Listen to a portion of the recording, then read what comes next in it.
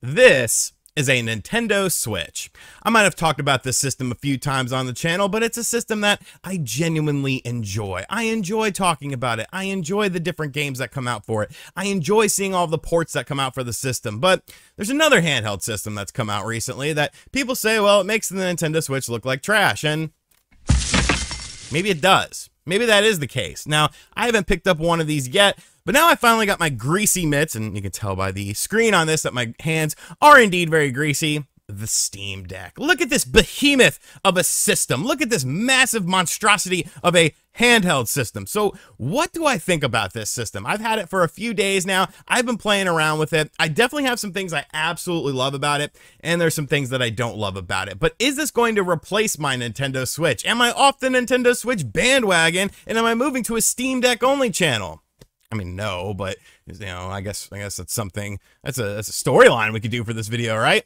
Without any further ado, though, let's talk about the Steam Deck. The first thing you notice about this system is just the sheer size of it because it, it is quite a big system. I have a little video here comparing a Nintendo Switch OLED to the Steam Deck, and you can clearly see that the Steam Deck is a much larger system. Now, there are some interesting features on the Steam Deck that are not available on the Switch, but I want to talk sort of about the controls of the system first, and then we're going to talk about some of the games. Now, when you look at the controls of it, it's very spread out, and when I initially saw this, I thought, uh, it doesn't look very comfortable, but once you actually get your hands on it, it's not entirely that bad. It is a very heavy system though, so that is something you'll want to keep in mind with this because if you got little weak puny arms or puny hands, you know, I got kind of tiny hands, um, it does sort of take its toll on your hands as far as holding it is concerned. Now, I love the screen on it. I think the screen is very nice. We have a variety of buttons, touch pads, all sorts of stuff here. The fan is on the top, and that's something you'll become very quickly friends with because it's it's a loud fan, and it's pretty damn loud. But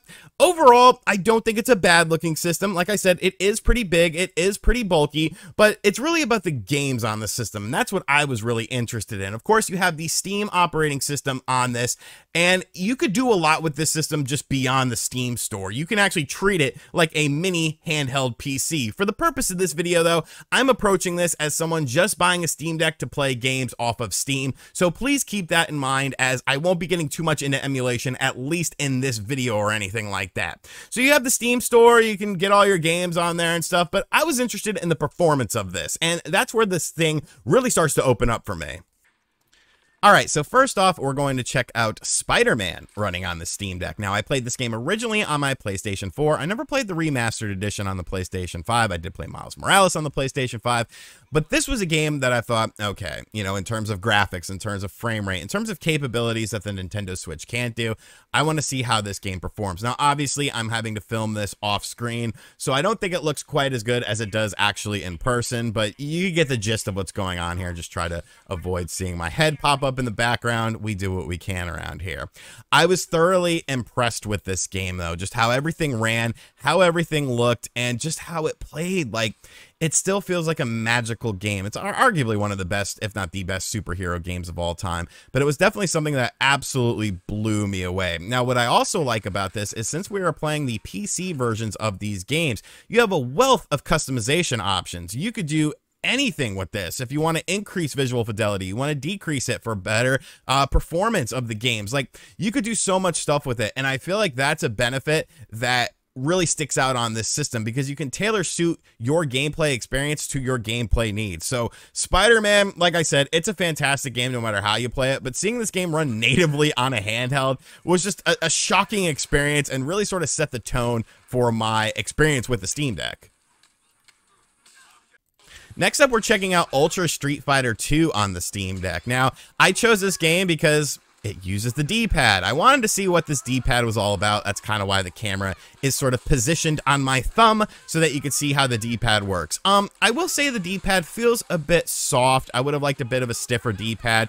I'm really not able to sort of get a good grip on it just because of the position that I'm playing on, but those things aside, the D-pad does feel good. You know, I play Street Fighter with a D-pad when I play it without a fight stick or something like that. I actually prefer to play with the D-pad. I'm a huge fan of Ultra Street Fighter 4. I loved playing this game on the 360 with my best friend when we had a townhouse, and you could see it's running phenomenally on the Steam Deck. It just looks so freaking good. It makes you wonder why they never ported this over to the Nintendo Switch because this, this is a great game. You know, it's a great game. It definitely is making me excited to play Street Fighter 6 whenever that comes out. So, once again, another huge home run for the Steam Deck with this version of the game. The performance is beautiful, and I think the D-pad is, you know, suitable. It, it, it's serviceable. It, it does the job. It does what I need it to do, and it allows me to play these games.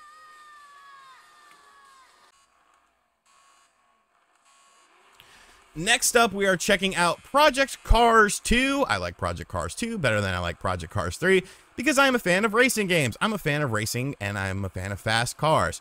Now, this was an interesting game to me because of the way it uses the analog stick. Because, of course, this is a racing game, so you're constantly moving left to right and stuff like that. And that's one of the things I find interesting about the analog stick for the Steam Deck is it has a very wide reach, I've noticed. Maybe that's just because I'm accustomed to the Nintendo Switch and how, you know, playing that in handheld mode when I'm not using a grip or something like that, just playing it in handheld mode with the The reach on these control sticks feels a lot further. And that could be a good thing, that could be a bad thing. You know, some of my cornering here was just horribly mistimed because you kind of got to get used to it. But that is something I wanted to mention as far as the controls were concerned. Performance wise, you could see like, holy crap on a stick. Does this game still look phenomenal? Uh, you know, Gran Turismo could learn a lesson from Project Cars. Put the street courses back in the game. These are some of the best courses to play. There's so much fun and there's so much variety in the visuals. Of course, this game has a wealth of camera options as well. Just another fantastic experience, much like all the other other games that are available on the Steam Deck when you're playing them because they are PC versions of the game. There's tons of customization options. You can do things for the environments to make them look prettier if you want to. I'm just running on standard settings. I did turn the attention to detail on the vehicles to high, and I'm getting a fantastic experience with this. I think this game looks great. This game plays great, and it's still a lot of fun to play. So, racing fans, it's another great system to play video games on. And let's check out our final game. Well, well, well, it's the game I wanted a Steam Deck for in the first place because Nate the Hate lied to me and I still don't have my Batman games on the Switch. And it's Batman Arkham City, a game that I absolutely adore. Another sort of pseudo open world style experience. Now, I did have a little issue running this game initially. We'll talk about it um, towards the end of the video. But once I got the game up and running, you could see it looks freaking great, dude it's still this is a game that definitely holds up well. I would say this is right up there with Spider-Man as far as great games are concerned. I know people like Arkham Asylum better. I know people like Arkham City or Arkham Knight better. I don't like Arkham Knight all that much. I don't like the Batmobile in the game, but this is yet another game that just looks and plays phenomenally on this system. Of course, since we're playing on Steam, the game is like a few dollars right now. Like there's so many Steam sales that happen constantly on the platform that you could constantly get games at cheap prices, which is something that I absolutely adore because I'm a cheap person. But yes, Batman Arkham City running flawlessly on this system once I got it up and running though. So let's talk about some of the negative points of the system because, you know, I've been pretty positive thus far, but there are a few things that I do want to mention when it comes to the Steam Deck. All right, so I've been pretty positive about the Steam Deck thus far, but what don't I like about it? What are some of the drawbacks? Um, there are definitely a few that I want to cover. First off is the ergonomics of the system, the design of the system itself, because it is a big, clunky, bulky son of a bitch. Like there's no way around it. And this is supposed to be a portable system. And as a portable system, it doesn't seem like something that you can easily take around with you. Like, yeah, you can get cases and stuff for it, but I feel like you'll need more than just a case because of the size of the system, but also leading us into our next point. The battery life on this system sucks. Like, it is not good. The battery life is not good. It drains very fast. And yes, it's more pronounced on some games than other games. But, you know, whereas the Nintendo Switch, like, yes, some games will drain the battery faster than other games. It's way more pronounced on this. Like, you play a game like Spider Man running at pretty optimal settings for the Steam Deck, and you increase that brightness, your system is going to die in a very short manner of time. Now, yes, you could buy a battery pack to go along with your system, but that kind of negates the whole portability aspect of the system, I feel. It's still a handheld because playing it at home in the confines of my couch with it plugged in or something like that, getting a constant power charge, it's fantastic when I'm watching a Knicks game. I think my third, though, um, sort of complaint about the system is the optimization of it. And that's something that's going to get better over time. But there have been games that I've tried to play on the system that just didn't work all all that great. And you have to go in and mess around with settings and stuff like that. With Nights, I have Nights into Dreams, which is a Steam release. I had to go in and adjust a whole bunch of settings in order just to get it to run on there. Same thing with Batman Arkham City. It was something that you had to go and Google to see how to get it to run so that it boots up on the system. And those are little minor inconveniences, but as someone coming over from the console side of things, where you simply just put in a disc or you put in a cartridge and everything works, it was a bit frustrating, I felt. I do love all the options that you get with this system as far as customizing your experience once you get into the game, but it can be a bit frustrating and a bit of a turnoff when you try to boot up a game and you have to go through hoops in order just to get the game to run.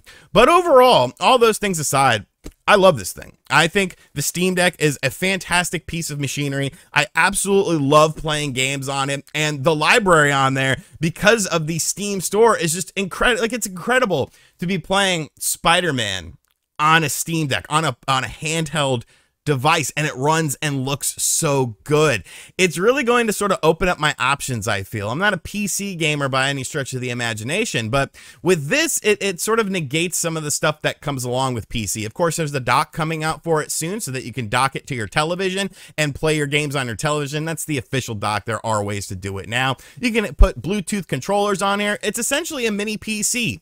Now, with that, you do get some of the problems that come with PC gaming, but Overall, I definitely love this system. Is it going to replace my Nintendo Switch? No, it's just another complimentary thing. It is another way for me to play video games. So let me know in the comment section down below if you have picked up a Steam Deck or you plan on picking up a Steam Deck. If this video sort of persuaded you, I think right now the wait times are over for it. You order it and you get it like a week or two later. And I definitely think it's a, it's a fun system, man. I'm definitely enjoying my time with it. And as always, guys, thank you for checking out this video. If you are new to the channel, be sure to hit that subscribe button, like, comment, and share. Hit that bell notification as well. And as always, I'll catch you guys on the next video. Later.